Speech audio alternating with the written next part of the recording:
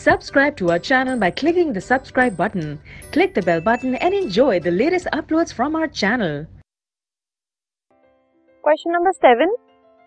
Write the balanced chemical equations for the following react. Reactions के लिए हमें balanced equation लिखनी है. So let us start from, from number one. First है calcium hydroxide which is CaOH twice plus carbon dioxide, that is CO2 gives calcium carbonate, which is Ca CO3 plus water, that is H2O ठीक है? सबके फॉर्मूले लिख लिए हमने एक एक करके। अब देखते हैं। सी ए वन और वन इक्वल है।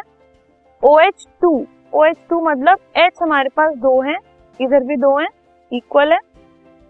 कार्बन इधर भी एक, इधर भी एक इक्वल बच गया ऑक्सीजन तो इधर भी आप two that is two into one is two और टू यहाँ तो टोटल हो गया फोर इस साइड पर थ्री यहाँ और वन यहाँ टोटल हो गया four so that means this is already a balance chemical equation second देखते हैं. Zinc plus silver nitrate zinc is Z N plus silver nitrate is AgNO3 gives us zinc nitrate, that is Zn NO3 whole twice plus silver, that is 8 ठीक है? अब इसको balance करने के लिए देखते हैं जिंक और जिंक एक एक है सेम है, Ag और Ag, अभी तक एक एक है सेम है। एनओ थ्री हमारे पास दो है तो उसको बैलेंस करने के लिए हमने इसको टू से मल्टीप्लाई कर दिया।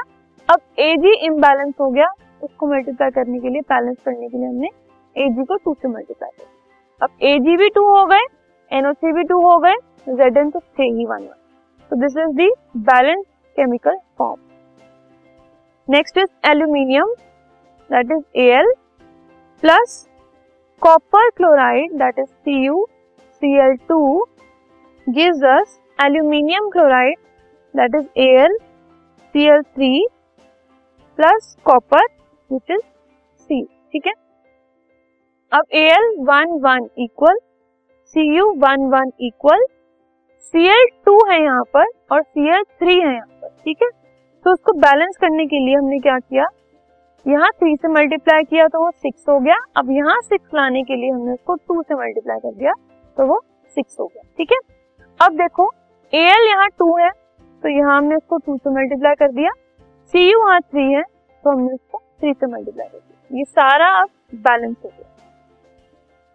Last barium chloride that is B S C L two plus potassium sulphate K two S O four gives us barium sulphate which is B S O four plus potassium chloride that is K C L ठीक है? अब इसमें देखो B A and B A one one same है। C L two है but C L यहाँ एक है। यहाँ के टू है और के यहाँ एक है। तो अगर मैं टू से इसको मल्टीप्लाई कर दू तो के भी दो हो गए सी एल भी दो हो गए। तो बैलेंस हो गया। एसओ फोर तो था ही एक ठीक है? तो these are all the balance equation of the given chemical reaction